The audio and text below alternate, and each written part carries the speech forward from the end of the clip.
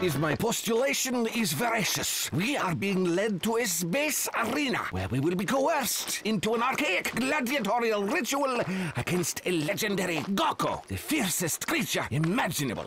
Zarkov, I've faced the defensive line of the Chicago Bears. Can't imagine anything fiercer than that.